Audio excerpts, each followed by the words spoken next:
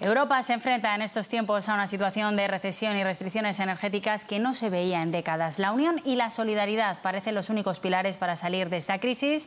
Hoy es un placer que nos acompañe en plató la embajadora de Alemania en España, María Margaret Gose. ¿Qué tal? Muy buenos días. Gracias por venir. Buenos días. Gracias. Gracias, Marta. Bueno, eh, vamos a empezar muchas cuestiones que queremos trasladarle de, actualidad. España y Alemania acaban de celebrar esa cumbre eh, bilateral. La Unión Europea quiere trasladar esa imagen de, de unidad que es más necesaria que nunca ¿no? en estos momentos. Sí, efectivamente. Yo creo justamente hemos visto las uh, nuevas imágenes de Zaporizhia y nos da claro que la guerra, la guerra ha vuelto a, nuestro continente y esto eh, está en nuestro interés de reunirnos para luchar contra todos los efectos que tiene esta guerra y para restablecer la paz en lo, antes posible apoyar, y esto significa apoyar Ucrania. Y por eso necesitamos estar juntos. Y es importante que más que nunca, porque Putin quiere dividirnos, y también hubo por eso la, la, invitación a los 17 estados para Praga para reunirse en un nuevo formato de diálogo eh, que es muy importante, que no solo hablamos entre nosotros, los 27, pero también los 17 más que unos interesados en, compartir bueno, eh, el destino de Europa aquí estamos todos juntos. Pues hemos visto esa imagen de unidad ¿no? en el castillo de, Praga estos últimos días, el viernes pasado. Eh, ahora viene el Consejo Formal, dentro de dos semanas en Bruselas, y esas medidas tienen que concretarse. Está clara la imagen de unidad, embajadora, pero hay dudas sobre cómo se va a repartir esas medidas. Lo digo por las medidas anticrisis en Alemania, que han generado eh, cierta polémica. Es verdad que son medidas a tres años. No sé si nos lo puede aclarar. Sí, eso es muy importante. Hace poco tiempo siempre me preguntaron por el miedo que hay por la recesión en Alemania, cómo esto va a afectar a España. Y efectivamente, nadie puede excluir que aquí hay unos efectos negativos.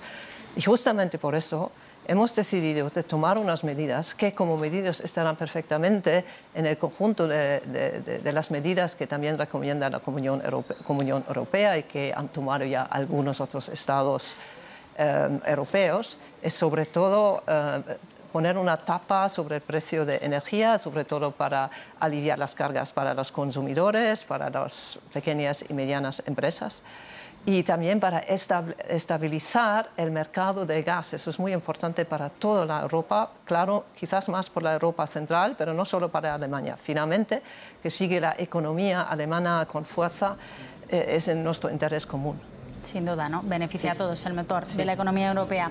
Hablamos de la crisis del gas ruso, hablamos del cierre de Nord Stream, también noticias de todo de las últimas semanas.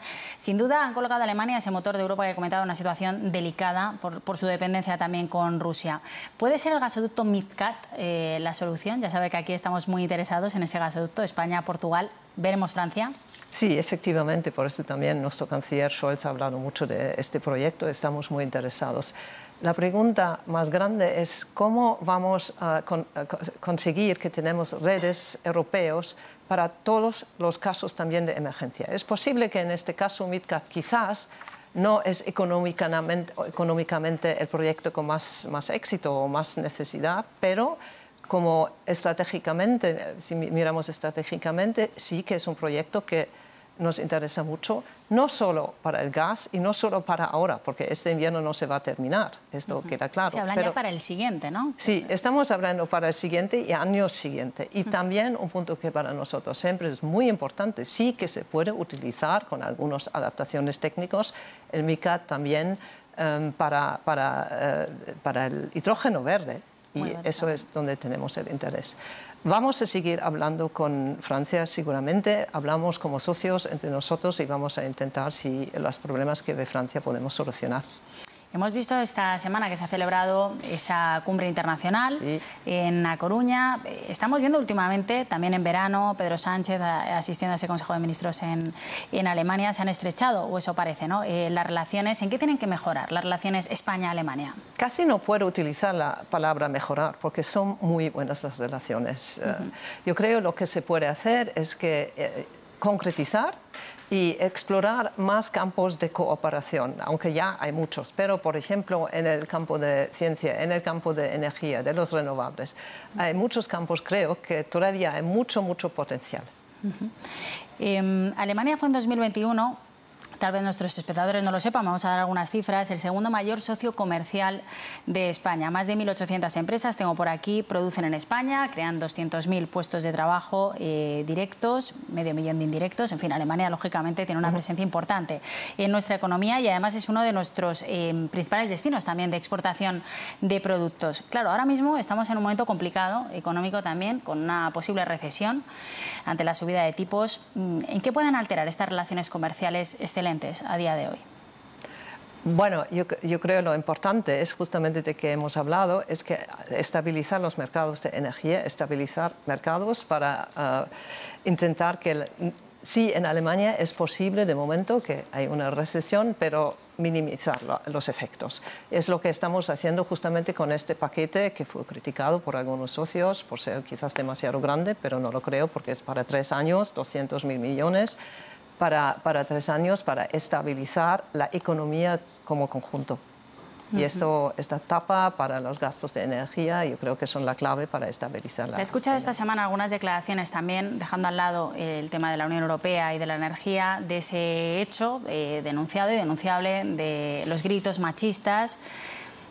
Em, que sé que le han dolido especialmente porque ha hecho declaraciones, no sé si nos puede aclarar el, motivo de esa residencia de estudiantes en, en Madrid. Sí, claro, es que había varios vídeos sobre la, parece, eh, unos hechos, eh, primero estos ah, bastante machistas y otros, y eso porque nosotros pensábamos que tenemos que decir algo, eh, sobre algunos gritos con eslóganes nazi.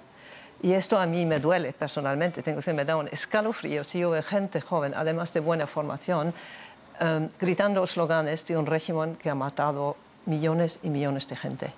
Y eso para mí es un hecho que me gusta decir como lo siento. Por ir contra el holocausto, ¿no? contra esa memoria histórica de lo que sucedió. Sí.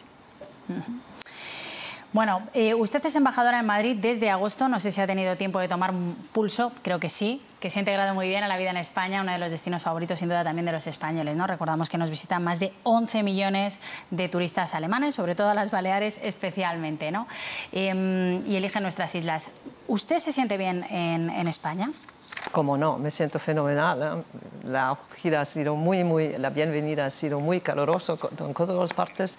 Estoy descubriendo cada vez más que, que, intensidad tienen las relaciones hispano-alemanes y como, eh, cuántas posibilidades hay de contribuir que crezcan más. Y una cosa muy rapidita, entre unos días, no se nos quiere olvidar, em, España va a ser invitada de honor en la Feria de, de Frankfurt, una parte cultural también, ya que estamos en este intercambio. ¿Cómo percibe la cultura eh, española en Alemania? Porque son grandes, grandes conocedores, nos visitan mucho, pero ¿cómo se percibe allí?